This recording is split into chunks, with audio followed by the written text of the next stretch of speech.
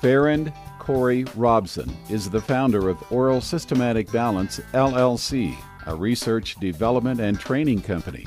Thanks to his work, the most basic physiologic system in the body and the oral origin of a variety of often debilitating symptoms have been revealed. Trained practitioners have benefited greatly from his therapeutic systems.